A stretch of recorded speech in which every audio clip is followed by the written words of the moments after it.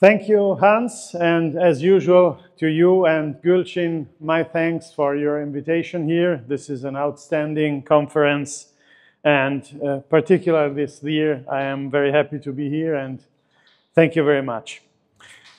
Liberalism, anarchism, and fascism. These are the topics of my speech today. And uh, I'll try to give you a non-conventional look on Italian history. Uh, these three currents of, of Italian politics and thought are very important, although they seem to be forgotten by now. No one is fascist anymore, no one close to no one is anarchist anymore, and no one is liberal if, if there ever was a liberal. So this is the first remark I would like to open my speech with is there, has there been a liberal tradition in Italy? The answer is uh, big no. There hasn't been any liberal tradition. If you mean by liberalism, classical liberalism, the idea of limited government, of fundamental rights, uh, of uh, freedom of speech, respect for private property, and uh, the construction of a government close to the ideas of the American founding fathers. We have no tradition whatsoever in this sense in Italy. This is uh, amazing because there were, for sure, some uh, Italian influences, especially on the American founding fathers. And I can cite two, two persons. One is Pasquale Paoli, the, the um, freedom fighter in Corsica who was Italian by, by, by all standards and who influenced a lot the American founding fathers. Still today, there are some Pasquale Paoli societies in, in, uh, in the United States who draw on the, on the ideas of, of uh, Pasquale Paoli, who was a classical, classical liberal. He fought to free Corsica from the French rule. He lost, as it's as it's known, and, but still his legacy is, is still strong in Corsica. He is called the, the, dead of the fatherland there. Another Italian who influenced the uh, American founding fathers a lot in the liberal sense is Cesare Beccaria, a philosopher, political philosopher, who is very famous uh, for a book about criminal law. And uh, he is one of the main uh, defendants of the Second Amendment of the American Constitution, the ideas that are behind the Second Amendment of the American Constitution, because he made a very convincing case for the right of everyone to possess and bear arms. But these personalities notwithstanding, Italy has no uh, liberal tradition. Uh, yet, if you read history books, you will read about liberal Italy. What is liberal Italy? liberal Italy is Italy between 1861, which is the, the foundation date of the unified Italian kingdom, and 1912, which is another uh, important date because uh, in 1912 the electoral suffrage was extended and with this the mm, political classes which dominated Italy up to that time ended. But we will come to that. Uh, why is it called liberal Italy? It was the Italy constructed by Cavour, the, the, the, mastermind behind the Italian unification. And if you compare Italy of that times to what we have now, for sure it seems to be liberal the state, the government was much more limited in scope and in extension. The mm, average cost of the government was between 5 and 10% of GDP, which is paradise compared to what we have now in Italy. Uh, one figure is, is particularly telling. Uh, public employees in 1861 were not more than 50,000 people. Now we have 3.2 million uh, public employees, not calculating in the figures the employees of the many uh, state-owned and uh, local government-owned companies which are government by all standards. So uh, the, this, the, the government and the state expanded during the time from 1861 to, to now in an incredible manner. Now we have a fully fledged socialist state with all the shortcomings of socialism and maybe even, even communism. At that time, the government was much smaller, uh, yet the so-called liberal political class built uh, a model of government which was uh, the imitation of the French model. So uh, no local government, no uh, federal states. There had been Uh, federalists among the freedom fighters for Italian unification, but this was completely forgotten. The model was the French government and the French state, with the prefects as the main hinge on which the, the government structure was built. The, the prefects were and still are the local representatives of the, of the central government and they had and have still now extensive police powers. And this was the main structure. So you had a, a mm, strongly centralist government with local representatives of the centralist government and the imposition of the rules, of the laws of the Piemontese uh, kingdom and of the Piemontese um, system of government on the rest of Italy. Uh, it was not a unification, it was an, a, a, war of conquest, basically, especially in southern Italy. And uh, the, the new rulers were the owners of the, of the new country. Uh, there are lots of, of reasons why the Piemontese kings thought that this, this would be a good idea, especially to pay the debts. They could grab all the gold of the, of the southern Italy's kingdom and they could take over all the resources of other local governments. Um, Italian unification was mainly staged by the French and by the British Secret Service, who still continue to exercise uh, a very strong influence on Italian politics and, and on whatever is going on in Italy. Uh, just to, to make a little parenthesis, you heard about the, the fact of the, of the sailing yacht of David Lynch, which uh, was, uh, went down in, in southern Italy in, the, in front of Palermo, and with the death of a person like Lynch. Uh, the first ones to come on the so-called crime scene were the British Secret Service. What they were doing there in Italy is a big question mark, but still, this is what happened and what still happens. So um, Italian, the so-called liberal Italy did things which are not liberal by all standards. For example, one of the leading politicians during the first years of the Italian unification was Francesco Crispi, who was the main proponent of the Italian colonial adventures in Africa. Italy was one of the countries, like Germany, to struggle for a place in the sun. They wanted their colonial possessions in, in Africa as well. This has nothing to do with classical liberalism. This has to do with the building of, of an empire. And it, Italy wanted to be a small empire, wanted to participate in the great concert of the big powers of, of the late 19th century.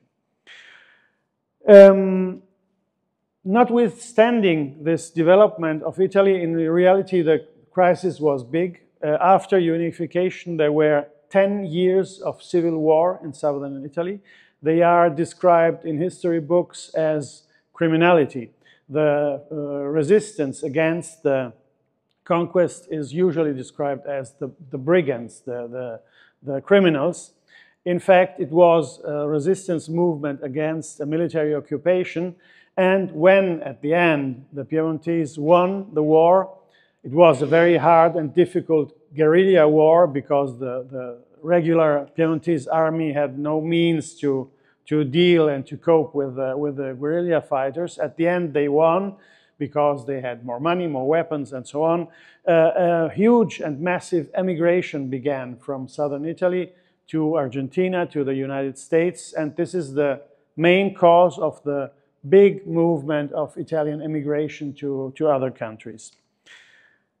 Uh, plus, there was the, the king and the, the, the, political party of the king. The king uh, at that time was a constitutional king, but still he uh, retained some powers, and especially the first Italian king, Victor Emmanuel II, who kept the, the numeration of two because he felt himself to be rightfully the, the king of, of Piedmont, not of Italy. That's why he called himself number two.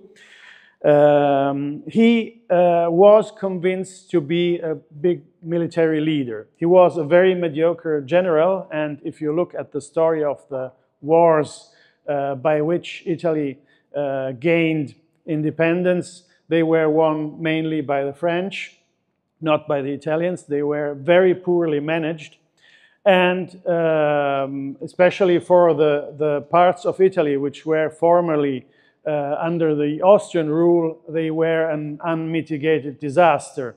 With some regions, especially uh, Veneto, the, the region of, of Venice, who uh, were mm, annexed to Italy by means of fake plebiscites. The, the, the elections by which Italy, uh, connection to Italy won with majorities of 95, 98% were fake. There are lots of researches about this. Uh, cities with 10,000 uh, inhabitants, there were 12,000 votes in favor of, of, uh, of Italy. We saw, see similar things even in the United States now. Maybe there were some dead people voting at that time too, but still it was a giant fraud. And uh, this is one of the reasons we have a quite strong independentist movement in Veneto. Uh, although we have a party in Italy now, the former Lega Nord, the, uh, the Lega of the North, who uh, is in charge of making sure that all independentist movements of, of northern Italy are kept well under control and that they do not achieve their, their goals. But um, King Victor Emmanuel thought he was a big military leader. There's a quote from his wife, the Queen Margherita, who said, My husband is the last medieval ruler of Italy. And this is how he perceived himself. In fact, the House of Savoia was the oldest um, reigning dynasty in Europe. And he thought to be a, a big general. And this idea was uh, transformed into a very uh, efficient propaganda. There was a pro-war and pro-army propaganda in Italy, uh, especially aimed at transforming the Italians in a warlike nation, which was and is still is completely out of the out, out of the question. But there was this idea that even if the wars of independence did not achieve the forging of a, of a nation, of a strong nation, this would come in a future big European war. And this is what they thought to achieve with World War I. So there are no liberals in Italy. What, what is described as uh, Italian, as the liberal Italy is, is nothing of the sort. Liberals came later. There have been very important liberals, especially in their influence uh, in the world. We can think of the names of Bruno Leoni, of Sergio Ricossa, but this is history of the last 50, 60 years. And they have no political influence whatsoever.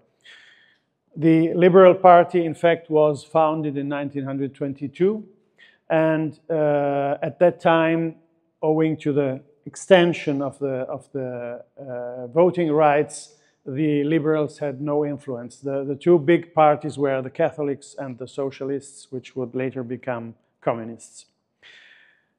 How uh, fit the anarchists in this general description? The traditional Italian anarchists of the 18th, uh, of the 19th century uh, were uh, an outcome, a result of the, of the communists.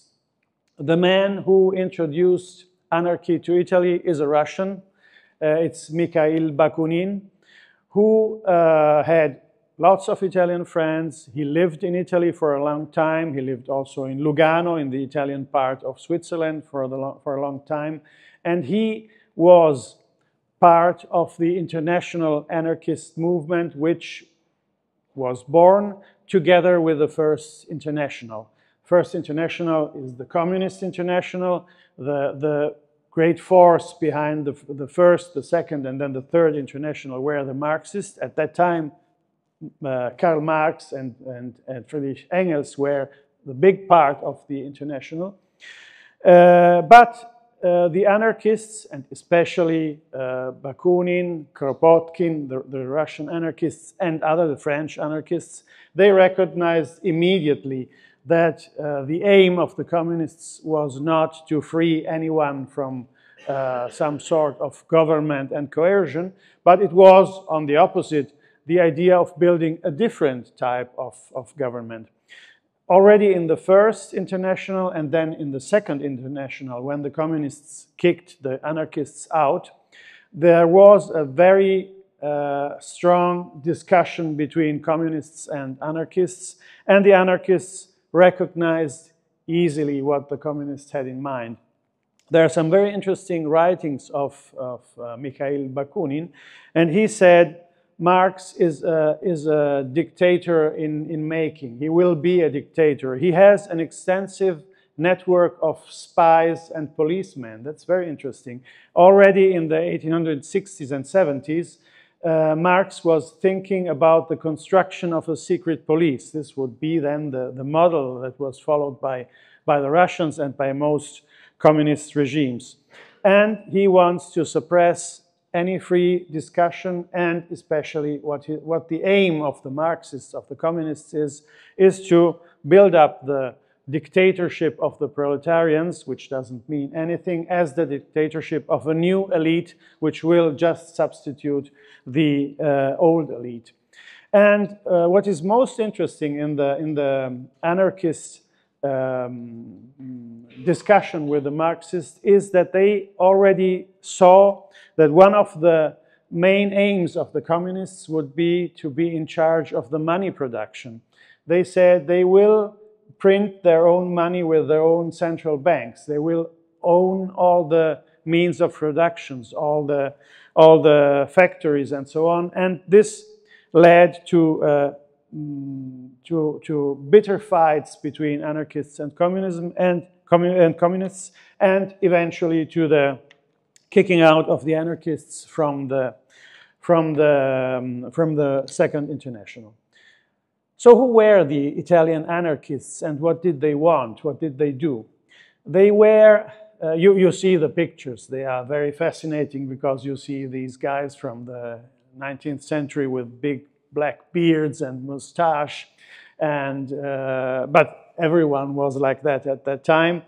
And uh, they were mainly middle class. There were lots of professionals, lots of uh, small landowners. Some were quite rich. For example, Carlo Cafiero, who was the main sponsor of, of uh, Bakunin. He paid everything for him, including a, a, famous, very nice villa in Lugano, La Collegiata, where there was this little anarchist community. Some say that Bakunin exaggerated in his uh, in his uh, exploitation of Cafiero's generosity, but in fact, they put their money, their effort, their time in, in, this, uh, in this enterprise. There were lots of lawyers like me, uh, Pietro Gori, for example, or the most famous one, Francesco Saverio Merlino. They were very successful in defending their clients, their anarchist clients. One could uh, maliciously note that the ones who actually did the assassinations and who were arrested and, and often executed, they were all lower class. So they were not lawyers, they were not uh, landowners, but they were more uh, factory workers or, or, or, or, agricultures and so on. But this is maybe it's just a malicious uh, note by me. Uh, what did they want? The anarchists wanted a social revolution. They thought to convince the broad masses of the people to start uh, a violent revolution against the status quo in order to abolish government, to abolish coercion, and to abolish private property. Here we have to introduce something. Uh, the anarchists of the 19th century were complete economic ignoramuses. They missed the marginalist revolution. They missed what the Austrians, what the early Austrians wrote about money, for example. Uh, be aware, they were all uh, cosmopolitan people. They spoke many languages. Most of them could speak five, six, seven languages. So it's not that they were isolated in their small Italian world. They could have read the books by Carl Menger easily, but they missed this completely. They were strictly connected to the labor theory of value. They thought that the, that the value of anything comes from the work that is put inside.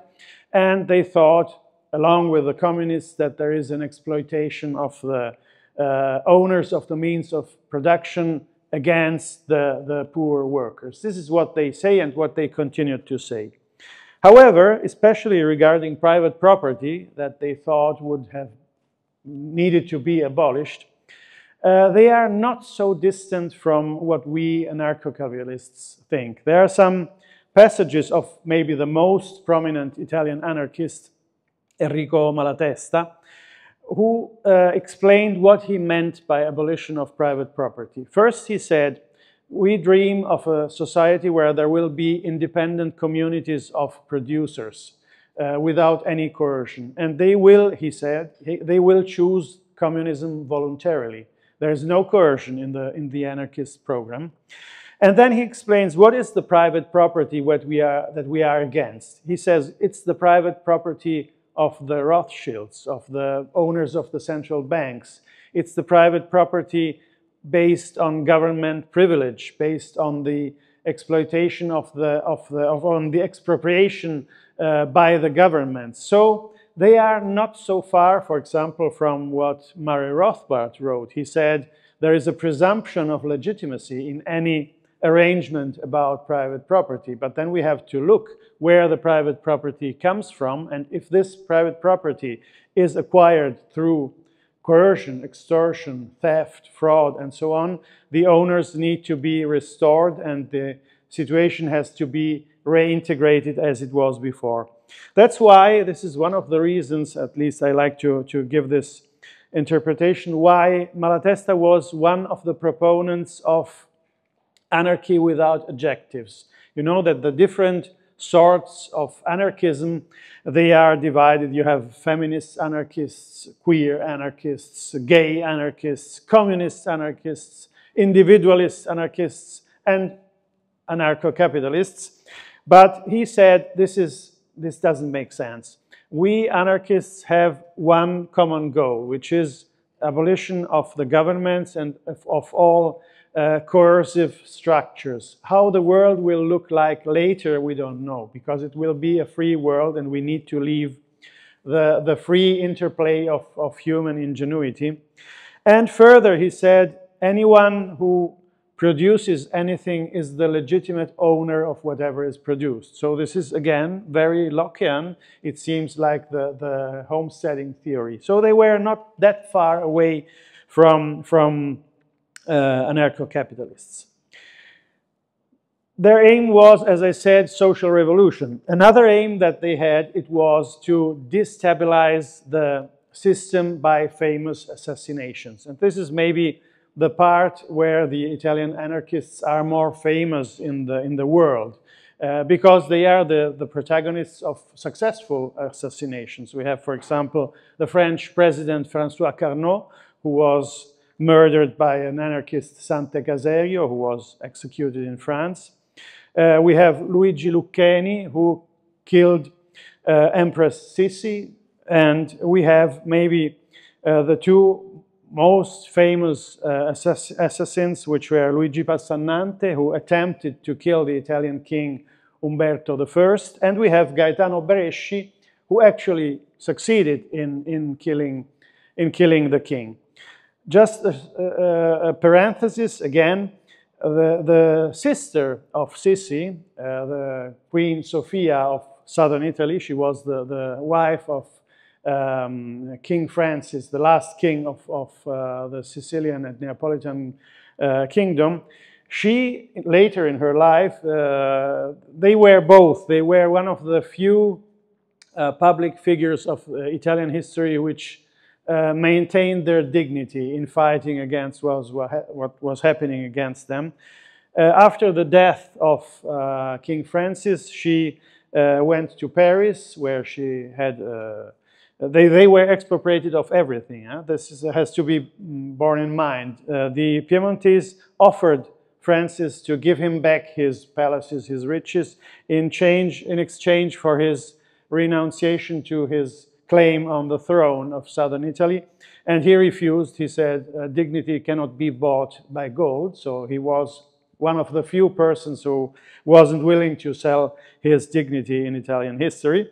And uh, she lived in Paris and she became a close friend to the anarchists. Why? Because the anarchists were against the kingdom of Italy, which she, she loathed and hated with all her forces. And she actually gave lots of money to the anarchists. She was a good friend to Enrico Malatesta. That's why she was called the queen of the anarchists. It is funny because her sister was actually murdered by, by one of them. Uh, Gaetano Bresci, as I told, is the most famous because he, he managed to kill the king Umberto I. Uh, in, in 1898, there were some protests against stupid government policies as usual because the Italian government has imposed a tariff on imports of wheat and flour because they wanted to protect local agriculture.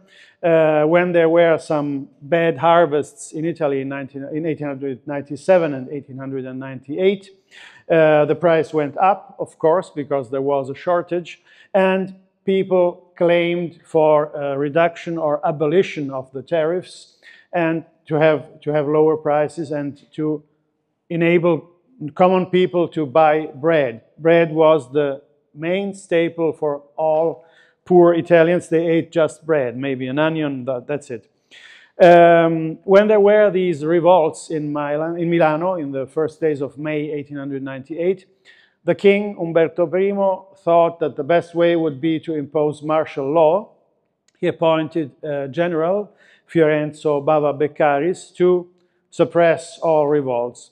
The general did it his way with cavalry, with cannons. He shot with the cannons on the peaceful protesters, unarmed protesters, killing, according to the best uh, estimates, 400 people and uh, injuring thousands. And after this uh, bravery piece by, by the general he, was awarded by a medal from the, from the king. So there was a diffuse sentiment in favor of anarchists during that the time. Uh, Bresci was, when he managed to kill the king because of these facts, it was a revenge against the facts of Milano, he was celebrated like a hero. And uh, there was, uh, there is a theory, which probably is true, uh, he, he, was very successfully defended by Francesco Saverio Merlino, an anarchist lawyer.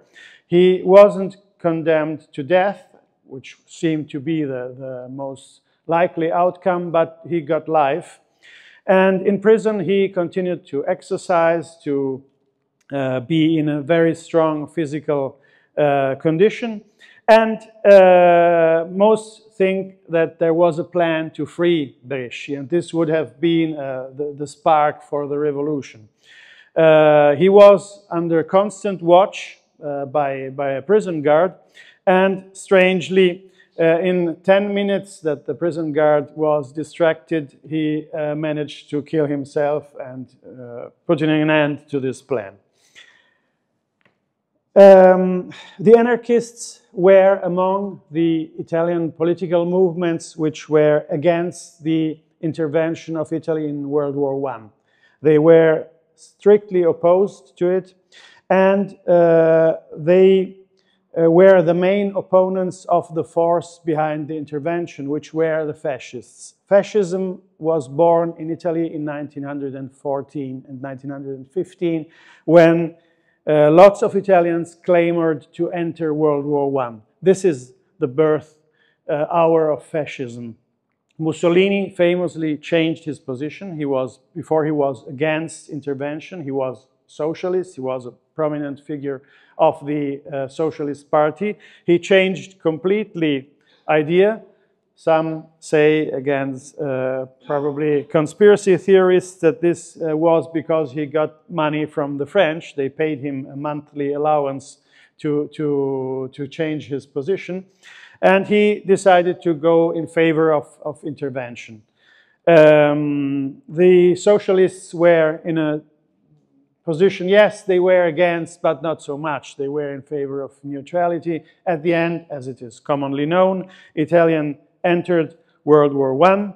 Pope Benedict XV said this is a useless massacre, which is true.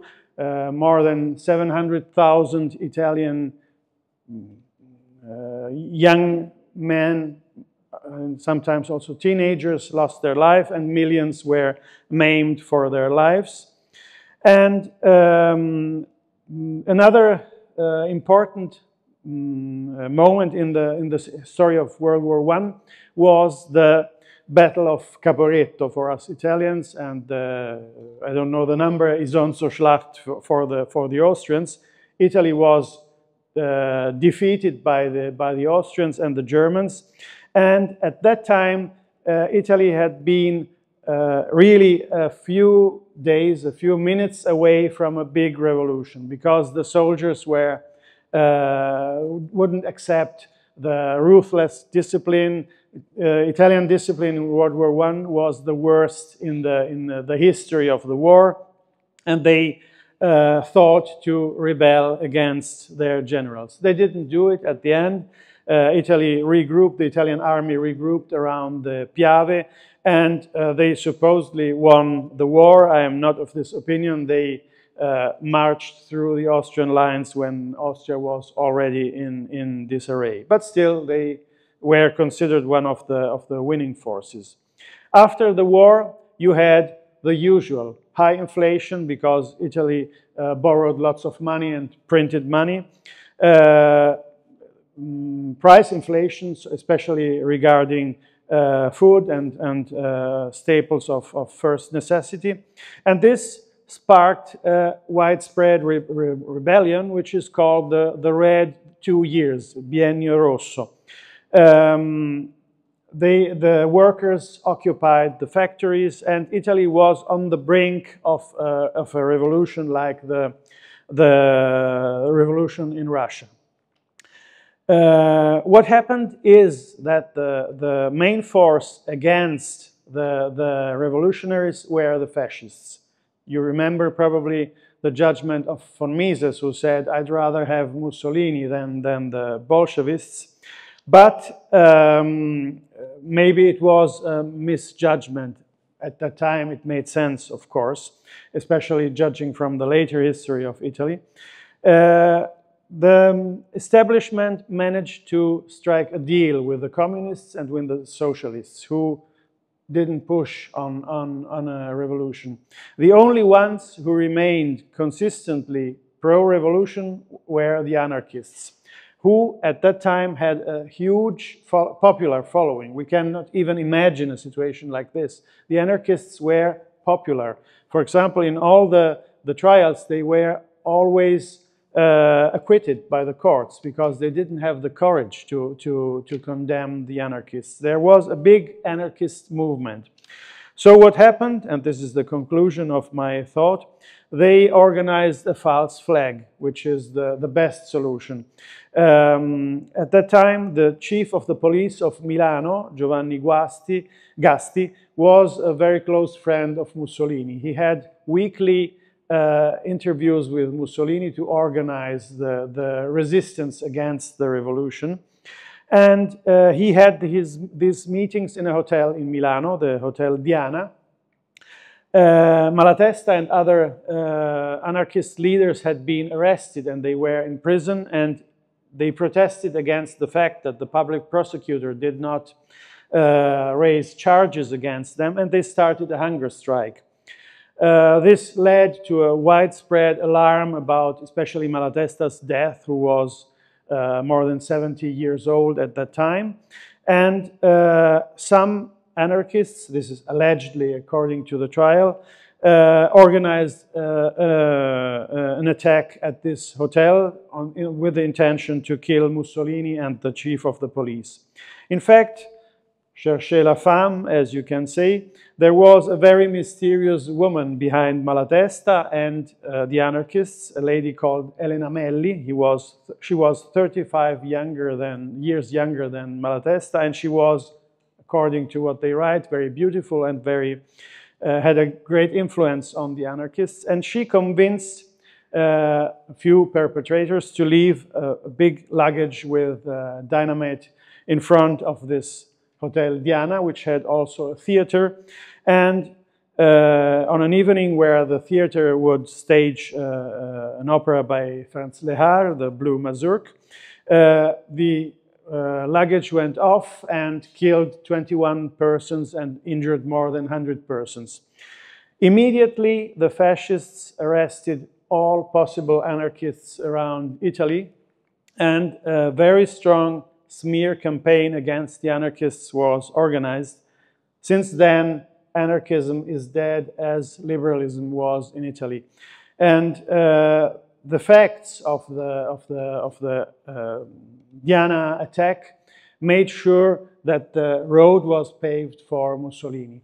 Uh, the idea was that the fascists were the only ones who could guarantee uh, peace and social order in Italy. And uh, one year later, the successful march on Rome enthroned Mussolini as the ruler of Italy. The first three years were a little bit um, moderate. Since 1925, he enacted a through totalitarian dictatorship. The anarchists' ideas are dead. Since then, there are still anarchists who continue in the tradition of the 19th century. But I like to think that anarchism is born again not so many years ago with anarcho-capitalists. We are um, in a completely different tradition. We come from the American tradition, Rothbard, and then from Mises, Austrian School of Economics. Uh, the Italian libertarian mo movement, which is a strongly anarchist movement founded by Leonardo Facco and presided by me during these years, we are trying to revive Itali uh, um, Italian anarchism and to revive anarchist ideas on a completely different uh, way than the, the 18th century, 19th century anarchists who had the problem of not understanding anything about economics. We think that we understand a little bit more and maybe the connection between liberal ideas and Austrian school ideas and the anarchist idea could be a hope for our future. Thank you for your attention.